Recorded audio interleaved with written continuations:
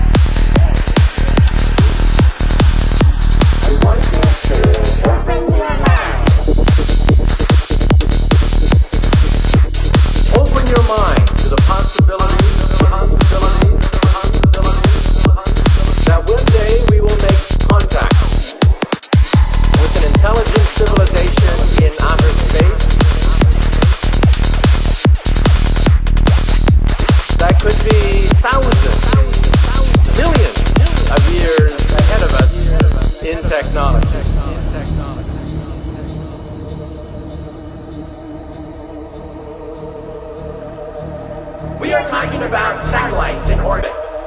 The Kepler, the Corot, new efforts to identify Earth-like twins in outer space.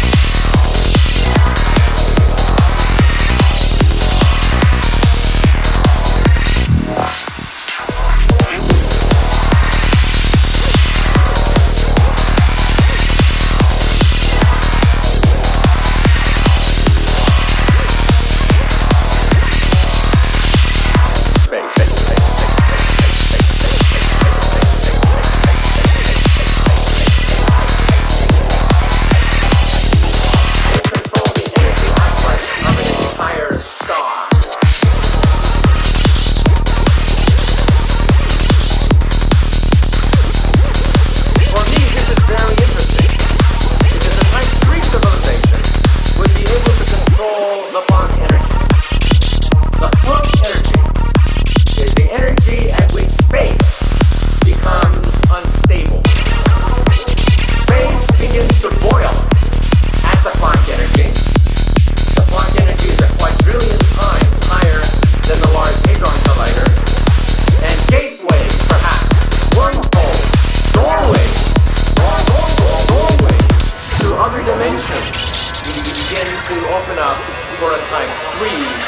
So we have Type 1, which is planetary, Type 2, which is stellar, and Type 3, which is galactic.